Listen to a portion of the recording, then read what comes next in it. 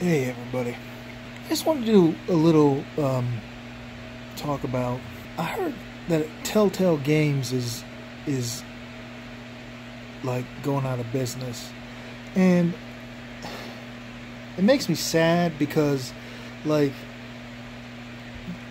I I didn't really play that many of their games because I don't. I mean, I just don't have time. But like there there is a certain there's certain thing about games that I think are important. And there's like two sides of it. It's like if you look at if you look at games as a competition, then you kind of go down the road of like video games.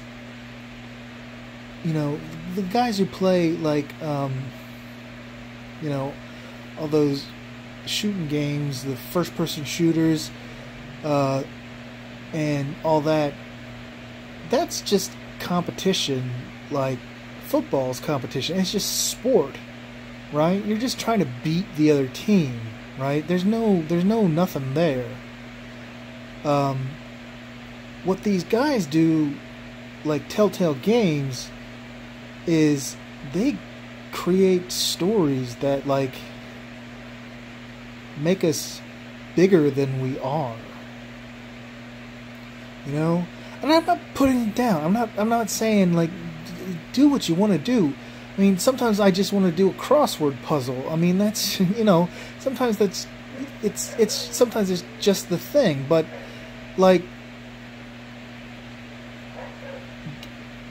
there are stories to be told and that's what and that's it's like movies it's, you could be kind of like oh well we have movies and tv that's how we get our stories told. We don't need games that tell stories. Games are there to like you know you knock a ball against a wall and then that's it.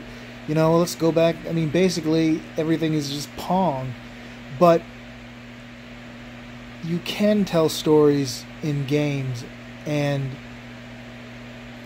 I've I've had some like really like deep experiences. Like especially with telltale games. I mean like the walking dead when you know the the end of that whole first season was just like oh my god it ripped my heart out. It was like the worst thing ever. I can't even like pick it up again. I it's it's just too hard. Um but the thing is i don't know. You gotta i believe that gaming is about storytelling too.